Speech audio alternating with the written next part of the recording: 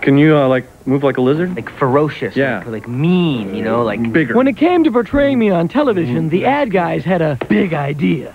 Exercise and four, five, six, and. I am I am Gex. Right now, Yes, right. I told him, play the game. It's the only way to really experience my new lightning fast moves, my all new vehicles, the reptilian wit of Gex 3, Deep Cover Gecko.